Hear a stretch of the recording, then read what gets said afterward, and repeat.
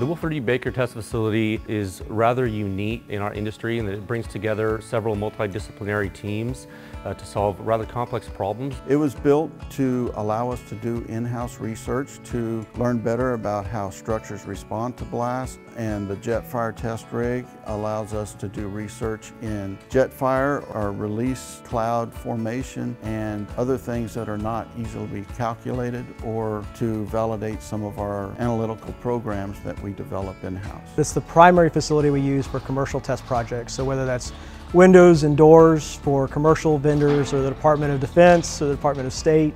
And we also host our BakerRisk Learning Center at this facility. So industry professionals can come out and get a flavor for process safety events on a small scale.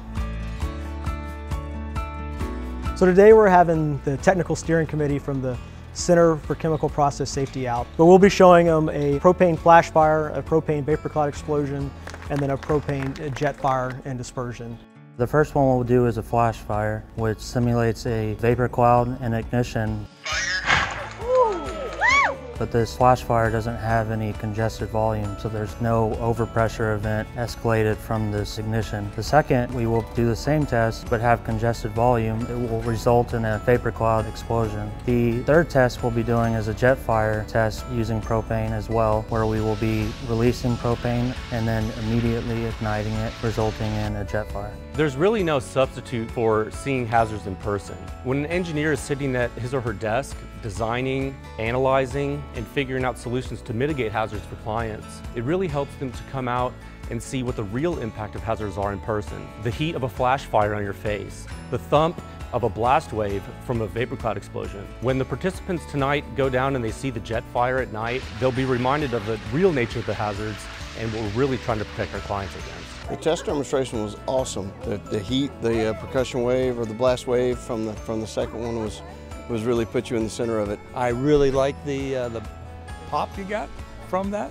I felt that before, and this time it was in a test situation and not real. I would say the thing that sets this test facility apart from other test facilities would actually be the personnel. What you get here is professionals and engineers who are running these test apparatuses. And so when things go wrong or when client products don't work the way they intend, uh, you have professional engineers who can make recommendations for modifications.